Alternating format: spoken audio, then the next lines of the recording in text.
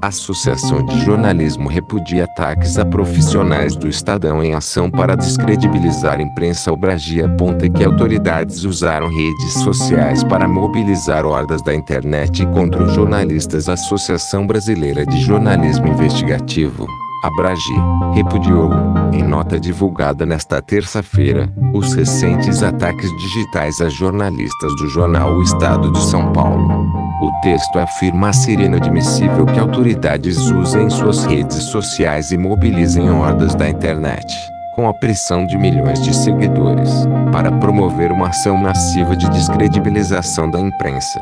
A onda de ataques por apoiadores do governo do presidente Luiz Inácio Lula da Silva, PT, ocorreram após o Estadão revelar na última semana reuniões de Luciane Barbosa Farias, mulher de um chefe de uma facção criminosa no Amazonas, com secretários do Ministério da Justiça em março e maio passados. A Associação Nacional de Jornais, ANJE, também se manifestou na segunda-feira ao condenar a tentativa de intimidação Abragi afirma que as redes sociais foram palco para ataques contra os jornalistas do Estadão Andresa Matais, André Chaldeiros e Tássio Lohan manifesta solidariedade aos profissionais.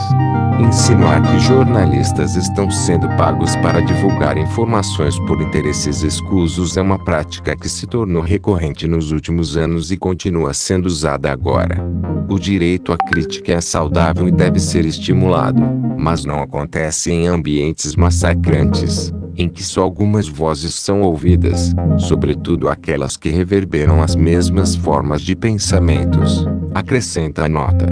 No fim de semana, os ataques se iniciaram após o site Revista Fórum, que é pró-governo Lula, divulgar prints de um formulário online de denúncia no site do Ministério Público do Trabalho feito contra Andresa Matais, editora de política do veículo com o relato de uma suposta pressão para relacionar o ministro da Justiça, Flávio Dino, às agendas de Luciane Barbosa Farias na pasta.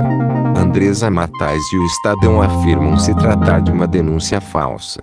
O texto, que se baseia nos prints, não aponta quem são os denunciantes. O portal diz ser de colaboradores do jornal O Estado de São Paulo e foi usado por autoridades com o objetivo de desqualificar as reportagens do veículo que revelaram as reuniões da mulher do líder da facção criminosa com integrantes do governo federal. A presidente nacional do PT, deputada federal Gleisi Hoffmann, PR, e Flávio Dino estão entre os que compartilharam conteúdos que endossaram o texto da revista.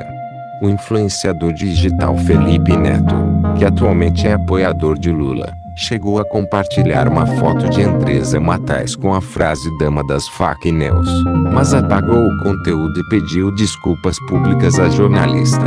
A reportagem do Estadão, no entanto, levou o Ministério da Justiça a alterar as normas de acesso à sua sede, na capital federal. O secretário nacional de Assuntos Legislativos do Ministério da Justiça, Elias Vaz, admitiu que errou ao não ter feito uma checagem prévia sobre os integrantes de uma comitiva recebida por ele em que estava Luciane Barbosa Farias.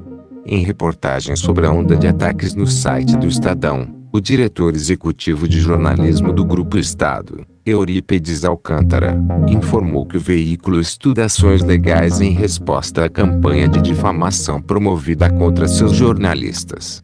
A reação furiosa orquestrada nas redes sociais contra jornalistas do Estadão em nada diminui a qualidade da apuração da reportagem sobre as intimidades da dama do tráfico com altos funcionários públicos.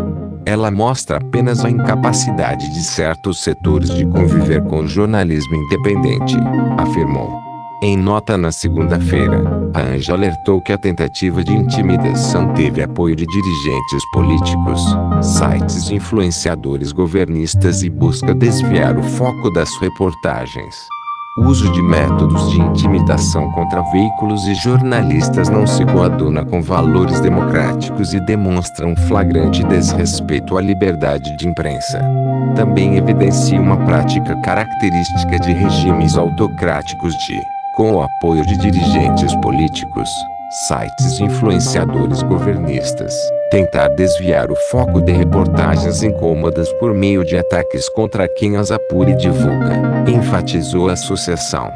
Há de se esperar que tais métodos de intimidação, sobretudo contra jornalistas mulheres já empregados no passado recente, cessem imediatamente, em nome do respeito à liberdade de imprensa e à livre atuação do jornalismo e dos veículos de comunicação.